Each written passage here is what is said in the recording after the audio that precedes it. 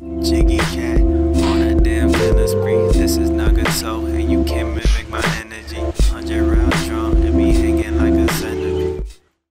Hey everyone, it's me Nagato's Revenge. Hope you guys are having an awesome day for today and welcome back to the channel. For today's video, we're going to be talking about on how to install one menu file explorer for your modded PlayStation Vita or for your modded PS TV. And within one menu file explorer, you can install games, run homebrew, also FTP and some other cool things that I'll be showcasing in today's video. With that being stated out the way as well, we're just going to get straight into it for um, today's prerequisites, excuse me, and everything else they will be in the link in the description down below, of course. So first things first, you either need a modded PlayStation Vita or a PS TV that's running either between firmware 3.60 or 3.73 firmware. So whether if you're using Henkaku, H Core, um, you know, the Trinity Exploit, H-Encore 2, Henkaku Enso, as long as your PlayStation Vita or your PS TV for that matter can run unsigned code, then you're basically good for this guide. As well, you also need the latest version of Vita Shell. You also need the latest version of One Menu, and either or you need a USB cable or FileZilla FTP client depending on how you want to transfer your files um, for today. And as well, you may need WinRAR. Everything, as I stated before, will be in the link in the description down below. But all of that getting started and set out the way, we're going to go to PC and, and our PlayStation Vita, excuse me, to get this all set up.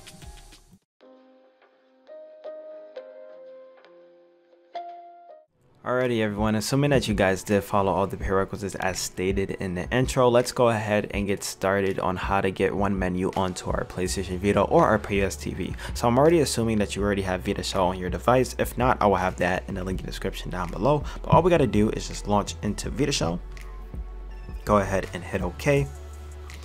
And now, depending on what we want to do in terms of transferring your files over, um, all we have to do is just get our USB cable ready if you're going to be transferring via files over that way. If you're going to be doing FTP like me for today's example, since this file is not too large, uh, all you got to do is go into your start menu. If you're going to be transferring your files with a USB charging cable, make sure your cable is in your PC to your Vita and make sure that the select button right here, it's toggled to USB. If you're going to be doing it wirelessly via with Wi-Fi, just make sure that's to FTP and make sure your Vita, uh, basically your Wi-Fi is on. And then all you gotta do is hit select. And then if you're doing um you know ftp just like me you should see your playstation vita's ip address. Once you have your playstation vita uh excuse me vita's ip address or ps tvs just leave it on standby. And then what we're going to do is go to our desktop. And then i'm going to showcase on how to transfer this file over via with the use of filezilla ftp client Alrighty guys, so we're back onto the PC as showcased here. As of right now, whether you're using FileZilla FTP client to transfer your files over or you have a USB cable plugged in from your PC to Vita and you're transferring files via um, you know the USB cable method, just go ahead in the link in the description down below. I will have the website where you can download the one menu.vpk file. All you would have to do is either you know transfer your file to these same directories and if you're using FileZilla FTP client like me, what we need to do is type in our PlayStation Vita's IP address in our port. Once I edit out the video, somewhere in this section right here, I will have a picture on, you know, how your you should have this formatted. So your IP will definitely be different than mine's, but mine's is this right here. And on your Vita, it will just tell you but our ports will always be the same which is 1337 so once you have your ip address and your vita is open still what we need to do is go let me just maximize this real quick not too sure why it's scrunched up what we need to do is go into ux0 and this is where we're going to be basically transferring our file to so let me just back out for a second let me minimize FileZilla. So what we're going to do is take our one menu.vita.vpk or wherever you have it at, just drag and drop to UX0. Uh, I already have the file here, so let me just overwrite since I previously had it on my Vita. But as you see here, my file is now transferring over from uh, my PlayStation Vita or my PC to my Vita. So it may not take too long. It only has five seconds left since it's not a huge file. And then what we're going to do is verify. So you get a little notification on your screen. It'll say all files have successfully transferred over. And in the logs right here, it'll say that the actual file itself will be successfully transferred over. If we go into UX0, I believe, uh, you can see that my file has successfully transferred over again. So what we're going to do now is just close out a file to the FTP client. If you're using a USB cable, all you got to literally do is just drag and drop. But what we're going to do now is go to our PlayStation Vitas, get this all set up, and then basically showcase what it can do. Alrighty, so as of right now, we could go ahead and disconnect out from our FTP server as well as your USB cable connection if you're doing that method. But what we need to do now is go into UX0. So let's scroll down to here, find onemenu.vpk. So let's just go and install the package. It shouldn't take too long at all since it's only 4.44 megabytes. So pretty, you know, not a big ass uh, package, excuse my French. But um, once it's fully done as well, we're just gonna launch it just like any normal uh, homebrew. So it's fully done. And now all we gotta do is open up one menu for PlayStation Vita. Just open it up. And then voila here is the actual application itself so it kind of has like a little nintendo switch type feel to it if you ever played the switch but for example let's say if i wanted to launch one of my titles so here is call of duty i can from this menu uh, if I go back into one menu again, I'll show you some other features. So just to showcase that you can run, um, you know, other applications, you can.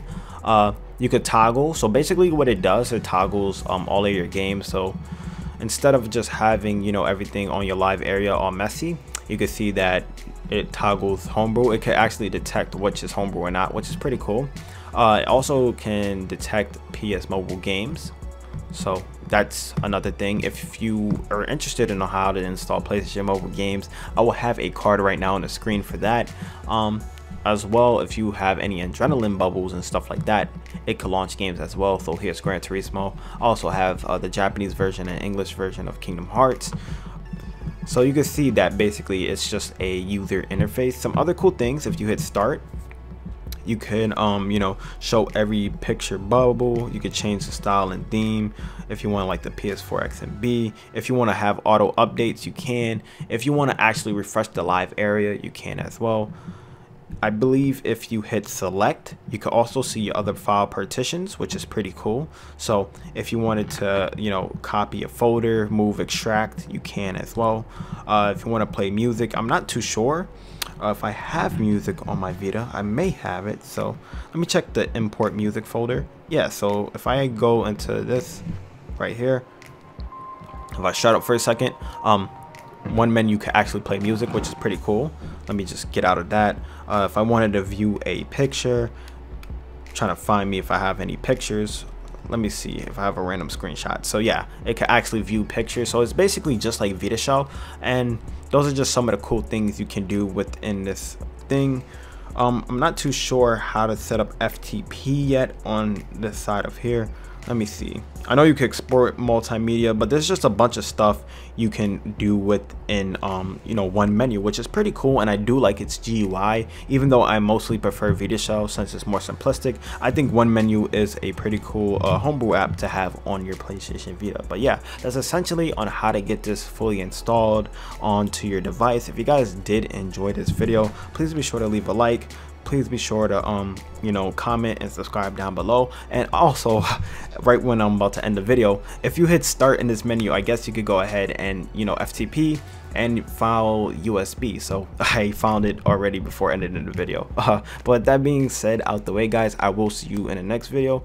And peace Hey everyone, it's me Nagato's Revenge. Hope you guys did enjoy today's video. With that being out the way as well, I highly do recommend that y'all guys go ahead and follow my social media so you never miss any of the latest hacking guides and tutorials on my channel by subscribing to me and hitting that notification button as well. It's another method on how you will know when I drop my latest content, whether it be for the Vita, PS4, PS3, and such and so forth. As well, if you want to be in the mix of things and you want to join my official community, you can join via the link right now showcased on the screen and join my Discord that way. And if you do want to support my channel in any shape or form, you could become a patron. I will have a card right now. But with all of that getting out the way, hope you guys really did enjoy this video and I'll see y'all next time. Peace.